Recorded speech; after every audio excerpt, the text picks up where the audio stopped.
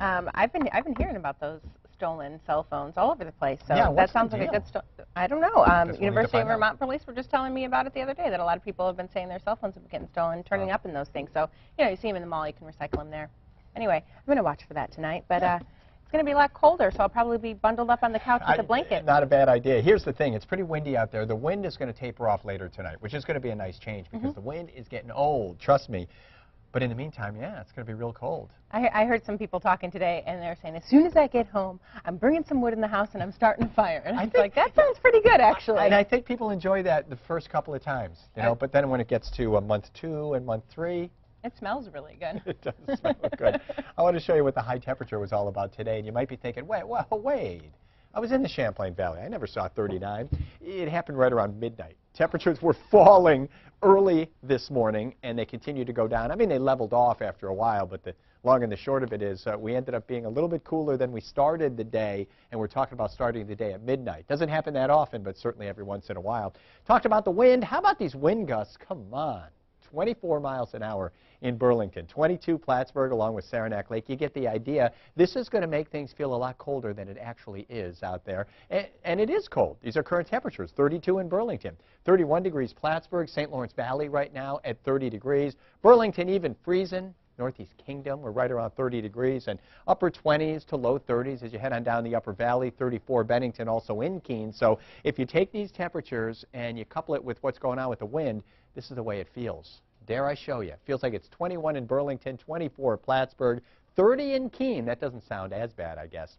All right, Storm Tracker 5000. We have got some snow showers going on out there. These are going to wind down. We've been dealing with a pretty brisk northwesterly wind. That wind, slowly but surely, is going to die off. As that happens, I think any snow shower activity is going to die off. We end up with a beautiful looking day tomorrow. And I put it that way because it is going to be unseasonably cool, but the wind is improving in terms of if you don't want it around. Let me show you why that is. We've got high pressure right here. Low pressure is leaving. This high pressure is going to continue its trek on off to the east. As that happens, we now have a northwesterly flow, but it's going to change. We'll get on the back side of this thing, and when we get a more southerly flow a couple of days down the road here, temperatures will begin to come up, and that's going to be nice. Futurecast. At 8.30 tonight, a few clouds around still. We'll take you right through the overnight. We are set up for what looks to be a mostly sunny day tomorrow. Now, here's the thing. In the mountains, first thing in the morning, maybe a few clouds around, but certainly mostly sunny in the valley areas, and then for everybody by the afternoon. Mainly clear for a while tomorrow night. A few clouds building in late. It's going to be colder tomorrow night than tonight by just a couple of degrees. And then on your Thursday, watch what happens. We're fine for a while, then increasing clouds by 2 o'clock in the afternoon. Clouds are beginning to thicken right in the Champlain Valley. In northern New York, the clouds are here, and we're all looking at mainly cloudy conditions by later in the day and then into that night. Friday, and then into the weekend, things get even more interesting. You're going to see that with the five-day here. For tonight, cloudy periods, breezy. Should I say cold?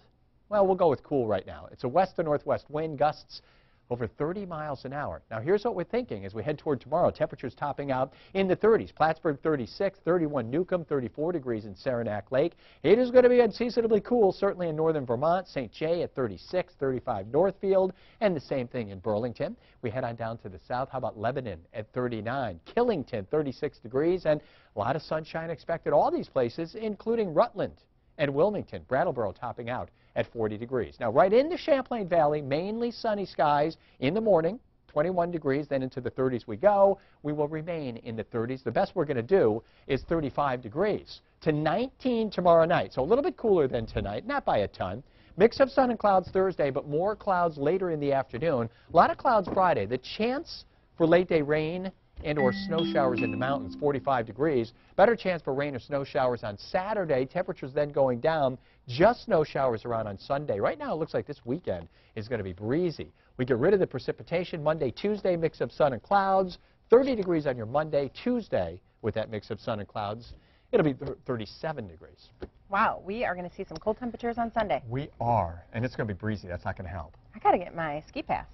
There you go. All You didn't get it yet? No, not yet, and I missed the cutoff when it's cheaper, you know? Like, oh, Bad move. I know, I know. All right, thanks, Tom.